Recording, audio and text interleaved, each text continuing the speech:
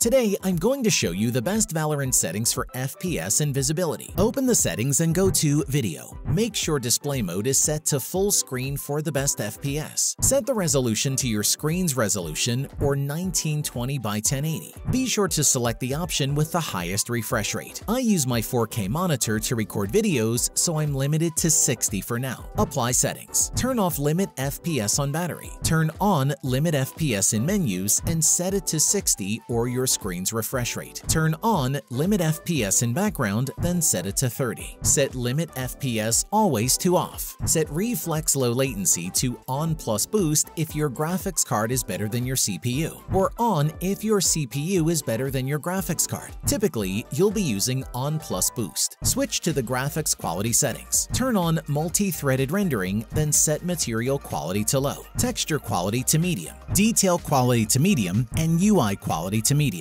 Turn off Vignette and VSync. Set anti-aliasing to MSAA4X and anisotropic filtering to 8X. Turn off Improve Clarity. Turn on Experimental Sharpening, then turn off Bloom, Distortion, and Cast Shadows. These are the settings I find to be the best. If you're on a low-end PC, then set all the quality options to low and anti-aliasing to MSAA4X or 2X. Head to the audio settings. Make sure speaker configuration is set to stereo for the best directional audio. Also, try playing with HRTF enabled as it can help you hear enemies better. Go to General Settings. Find the mouse settings and turn on Raw Input Buffer. This will prevent any mouse acceleration to help your aim be more consistent. Close Valorant and open the Start menu. Search for Valorant, then right-click on the application and choose to open File Location. Right-click the Valorant shortcut and choose to open the file location again. Click on Riot Games in the address bar, then open the Valorant folder. Alternatively, open the Riot Client settings, then select Valorant and go to the Install Path location.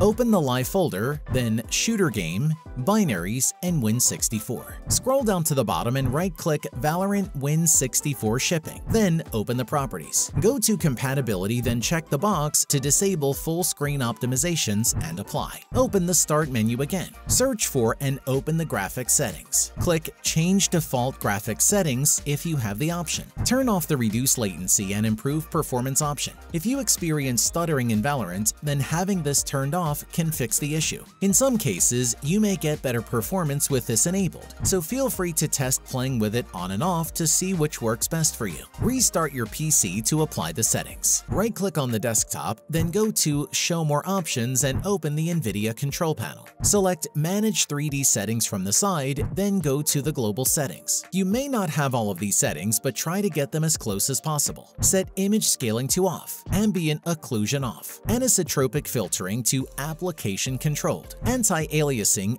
FXAA to Off, Anti-Aliasing Gamma Correction to On, Anti-Aliasing Mode to Application Controlled, Anti-Aliasing Transparency to Off, and Background Application Max Frame Rate to Off. Set CUDA GPUs to All, CUDA SysMem Fallback to Driver Default, DSR Factors Off. I like to set Low Latency Mode to On. If you experience issues, then try turning it off. Set max frame rate to off. Monitor technology to fixed refresh. Multi-frame sampled AA to off. Set OpenGL GDI compatibility to auto. OpenGL rendering GPU to auto select. Set power management mode to prefer maximum performance. Preferred refresh rate to application controlled. Shader cache size to driver default. Texture filtering anisotropic to on. Texture filtering negative LOD bias to allow, texture filtering quality to high performance, and texture filtering trilinear optimization to on. Set threaded optimization to on, triple buffering to off, vertical sync to use application setting, virtual reality pre-rendered frames to 1,